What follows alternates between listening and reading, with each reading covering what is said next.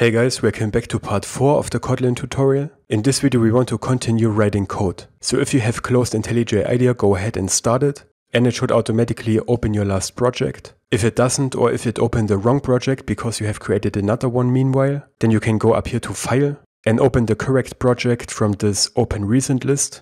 If you can't find it in this list, then you can also click on Open and just open the folder of this project directly. Okay, let's start this video with the solution of the homework from the last video which was create a second function that prints hello Kotlin and call it from the main function. So below the closing curly brace of our main function, we write fun, then we give this function a name. I'm gonna call it say hello Kotlin. And again, we can't put any white spaces in here. And instead, each new word should start with a capital letter, just like our file name. But the difference is that the first letter is lowercase.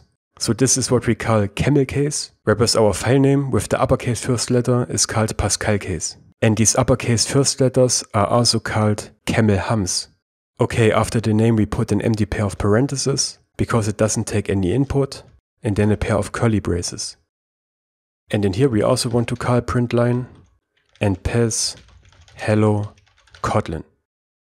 And then we want to call it from our main function. And when we start typing the name of the function, IntelliJ will already give us a suggestion. And when we press enter, we get this function call by writing the name of the function and a pair of parentheses, which again is empty because this function doesn't take any input, whereas the println function takes input, which we had to pass between these parentheses. But don't get confused by this right now, we will take a closer look at functions later. And then you will also learn how you can pass data to them or get data back. So when we start this, we get this output, hello world, hello Kotlin, and the second part of the homework was to uh, see what happens when we uh, just call print instead of print line. So let's start it again. And in the future, I will just use this shortcut here, Control Shift F10 on Windows. If you are on Mac, then use whatever shortcut it shows you, or just press this button like we did it before.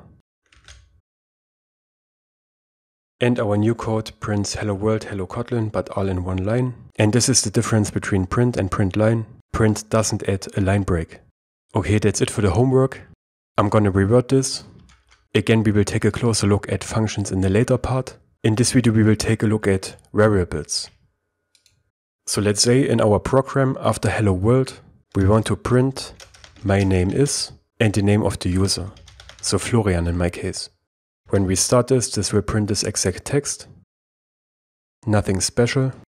But of course like this, our program is pretty inflexible because it can always just print my name is Florian. What we instead want is something like this. My name is insert username. And to replace this part dynamically, we can use variables. You can imagine variables as containers that hold data values. So this can for example be a name that the user typed into our app, but it can also be something like the result of a mathematical calculation or the result of a database query that we want to store and then use later, or just some value that we want to uh, use in multiple different places, but have a single place where we can change it. And with a variable, we can store a value in the memory of the computer and then give it a name so we can refer to it later. This is of course a very simplified explanation. We will learn about it in more detail later, but it will work for now. And to declare such a variable, we type in var, which stands for variable, then we have to give it a name, for example, username. Again, we use camel case if it's multiple words. After that, we make a colon, space, and then we specify the type of this variable. We want this to store a string. So we write string with capital S, and we assign it with the equal sign, to quotation marks, because this way we create a string, Florian, to store this string in this variable. The name of the variable should also be somewhat descriptive. So if you want to store the username, then you shouldn't call it A or B or something like that. And after we have created our variable like this, we could replace its value with another string like this. But what we could not do is trying to put a number in here because we said that this variable is of type string and numbers are not strings. Character sequences are strings.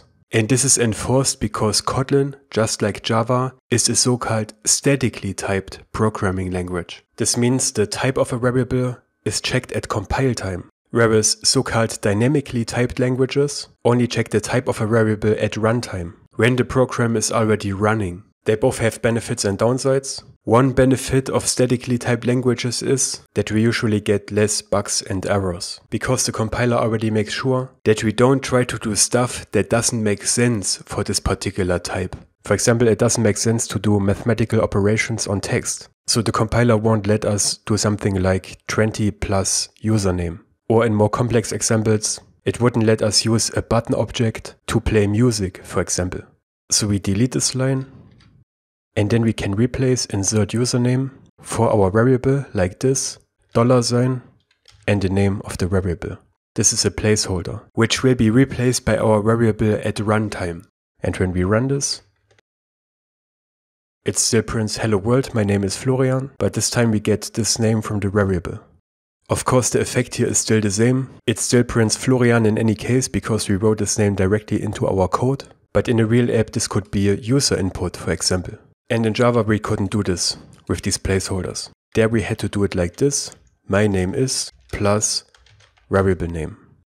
And again, as a beginner, you don't have to understand these comparisons to the Java language. They are not important to follow this tutorial, but they are still good to know even if you don't have any Java background. Okay, so let's change this back and add a second variable. This one is for the age, which we don't want to store as a string, but as a number. There are different types of numbers, but the most common one is int, which stands for integer, which is a whole number, but we will take a closer look at different data types in the next video. For this video, string and integer will suffice, and then we set this to a number. And just like the username, we can add this to our string with a placeholder. And when we start this, It prints hello world, my name is Florian, I'm 28 years old. Java developers will also have noticed that we write int with a capital I, whereas in Java we use a lowercase i. Again, we will take a closer look at this in the next video where we talk about data types. And with our placeholders here, we can also do a bit more complicated stuff. For example, we can say in two years, I'll be placeholder curly brace age plus 2 and the period outside of this placeholder. And when we run this, it writes out, in two years I'll be 30. This was just an example. We can do uh, more complex stuff between these curly braces. We will come back to that later. For now, let's take a look at this part up here again. As you can see, this looks very noisy. Our var keywords have this mustard colored background the variable names themselves are underlined, which seems very obtrusive, and the types are grayed out. So why do we have so much different formatting up here? This is because the IDE tries to tell us a few things. When we hover over var, we see a warning, variable is never modified and can be declared immutable using val, and the underline refers to the same thing, because if we know that we don't want to change the value of a variable later, we should tell that the compiler because this way we can avoid that we accidentally change the value of a variable that was never meant to be changed. So age is a value that is likely to change later, but my name will always stay the same. So we shouldn't declare username as var, we should declare it as val instead. Val stands for value and it is just a variable which can't be reassigned to a different value later. So before we could set our username to a different string, but now we get an error here val cannot be reassigned. Only vars can be reassigned. And this wouldn't even compile. So if we would try to start this, it wouldn't run. Whereas a warning, as we had it before, still lets the code compile, because the syntax is still valid. But this is not valid anymore. So we have to delete this. And for all Java developers, val is the equivalent of the final keyword in Java. It's just made less verbose here to encourage it, because again, it helps avoiding bugs you can also see that the underline disappeared because the IDE tries to help us by making it very obvious when we have a var. And it's good practice to start out with val and only change it to var when you actually need to change the value. The next thing we can see is that string and int are light gray. Whenever IntelliJ makes parts of your code light gray, it usually indicates that this is redundant. And when we hover over it, we can see another warning. Explicitly given type is redundant here. This is because Kotlin has a feature called type inference. which means that whenever the compiler can see what type of value we try to assign to a variable, we don't have to tell it explicitly, because it already has enough information. So when the compiler sees we create a variable called username and try to assign it to a string, we don't have to tell it that it is a string. So we can remove this, and for int as well. But these variables still have the string and integer type, so we can still not assign our age to a string because it's a type mismatch. And if you ever wonder what type a variable is, you can just click on it and press Ctrl Shift P and it will show you the type of the variable. While we are at it, another very useful shortcut if you ever mess up the formatting like this, you can press Ctrl Alt L and it will rearrange everything. Okay, one more thing. What if we want to print our text $sign username and not replace it. It's very unlikely, but of course we can do that too. If we want to escape a character like this, we can make a backslash. And when we start this again, it will literally print, hello world, my name is $sign username. But in most cases we uh, don't want to do this. Again, you can find the code for this part in the link in the description box below. The code for the previous part is in the description box of the previous video, and I will also do this for all the upcoming parts. I will give you a homework for this video as well.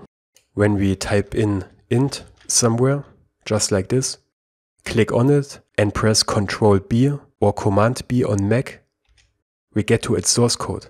Here we can see a public class int in a file called primitives.kt. This also belongs to the Kotlin standard library and your homework is to scroll all the way up and then just scroll through this file and take a look at what is going on in here. You don't have to understand any of this. Just take a look at it and try to be a bit curious. Take a look at these different classes in here and these different min and max values and the other stuff that is going on in here, like the functions. But again, don't get overwhelmed or frustrated by it. Just take a relaxed look at it and we will then talk about this stuff in the next video. Don't forget to like and share this series if it is helpful and then we will see us in the next part. Take care.